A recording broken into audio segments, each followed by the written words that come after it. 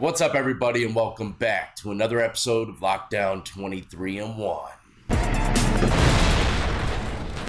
Today, I'm going to be bringing to y'all's attention some prison news coming out of Oklahoma. An Aryan gang decided to put a hit out on a white blood that was on the streets. We're going to talk about that and how, you know, a lot of white bloods are looked at in prison by these white guys. But for anybody that might be new, we talk about all things lockup related. If this is what you're into, do not forget to hit the like, subscribe, notification bell before you leave. A gang war, court records reveal, has been going on since 2019, turning deadly in Oklahoma City. All right, so this individual that you're seeing is Connor Huckabee, and he is a blood from Oklahoma. Turns out some Universal Aryan Brotherhoods from Oklahoma prison system put a green light out on Mr. Huckabee. Green light means, you know, uh, if you see him, you kill him.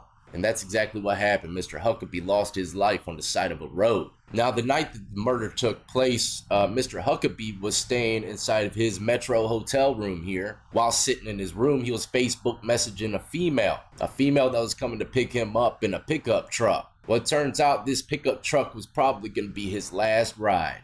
And this is the young girl that he was waiting to meet up with. I'm not gonna lie, she looks extremely sketch. I ain't getting in no pickup truck with this jank, man. Look at the damn tattoos, they don't even look real. But anyways, he decided to get up out the damn hotel, jump into the truck. The next morning, Mr. Huckabee was found right here on the side of the road, and you ain't gonna believe the type shit these guys did to him. Now on the left with the bald head, we have Kyle, and on the other side, we have Rusty. These guys are the OGs at the Universal Aryan Brotherhood. They're the ones that put the hit out on the white blood Mr. Huckabee. I can guarantee one thing for sure though, these guys are on maximum security lockdown right now as we speak. And who knows how long they're going to be on that because you know, if you're labeled as like a shot caller or someone that can call hits on the street, they're going to make sure that you don't be calling nothing for the next 10, 15 years. Records go on to say at least eight UAB members were involved in beating the blood in a parking lot, where Huckabee was forced to humiliate himself and denounce the blood gang. So they humiliated the guy and made him denounce his gang. If I were to guess, when it comes down to the humiliation part, they probably had him begging butt naked. That's the only most disrespectful thing I could see someone doing to someone before they take their life. And also, if I were to guess, they probably recorded this whole damn incident.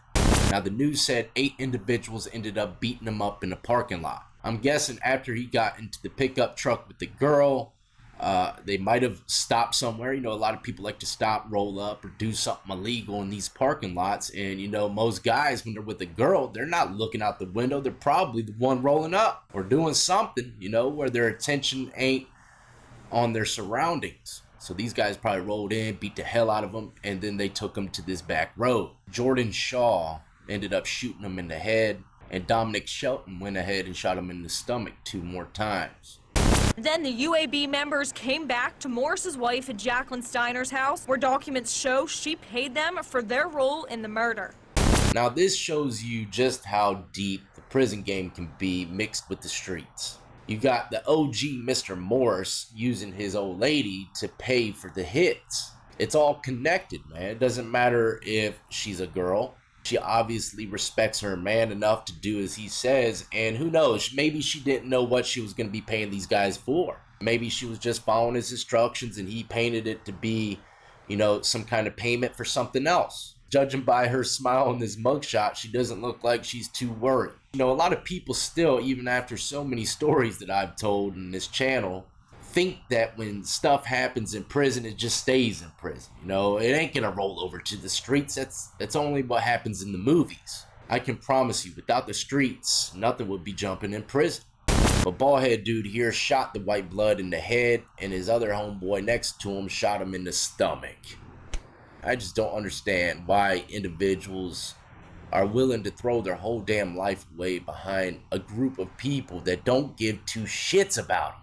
But then again, they did get paid, and they're probably going to get paid more than once. There are so many people involved, it could have been initiation as well for these individuals. They probably knew exactly what would become their way if they ended up getting caught. They'd probably just go to prison and get a little more respect in there with their organization. I mean, these guys are going to come in there saying they killed a white blood. If I were to gamble on it, that's going to give them tons of respect in prison within their organization. Almost legendary. So there is a couple forms of payment here, not only cash, but the stripes, the stripes and the stories that comes with it for years. I mean, look, it's made it to lockdown 23 and 1, right? So, you know, a lot of people, man, they just ain't got no hope for the future and and you know, they probably are willing to throw everything away to build a better future in prison with this group of individuals. And usually it's when they get older, doing a lot of time in prison, that they realize it was all damn sham. That's a little bit of news from the Oklahoma prison system that made its way to the streets. A lot of these guys I do stories on that ended up losing their life, man, they have no earthly idea how much people are plotting on them.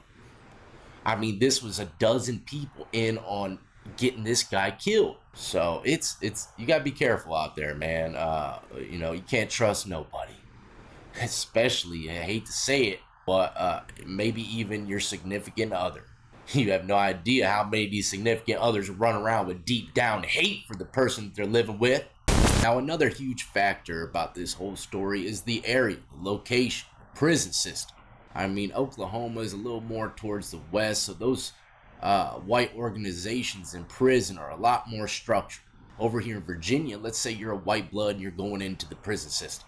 You're not going to have to worry about any of the Aryans for the most part. You're going to have to worry about people from your own organization. They're gonna there's gonna be people that are gonna embrace it and, and be like, yeah, man, this dude's legit. And there's gonna be people that are gonna look at you with pure hate. So be ready for it, man. I'm not gonna sugarcoat nothing. And when you are claiming that organization, uh, I'm, chances are sooner or later, somewhere down the road, you're going to see some kind of animosity strictly because of your skin color. Sad world we live in, ladies and gentlemen. But if you enjoyed, do not forget to hit the like, subscribe, notification bell before you leave. Check out the links in description of the video. Add me up on my second channel, and I think I'm about to change it up again. I'm going to be doing podcast style stories on my other channel crime, prison stories, whatever I can find on the web. I'm going to read them to you and let you enjoy the sweet serenities of my voice and my voice alone. So, uh, you know, for all them people that do a lot of driving and just want some good, uh, good juicy stories to listen to, go check it out. Mr. Death is my second channel, ladies and gentlemen. Hopefully, y'all make y'all's way over there. Anyways, until the next time, I salute to every last one. You've been supporting me since the beginning and everybody who's just now joining the lockdown compound. Y'all be easy, be safe, and stay free.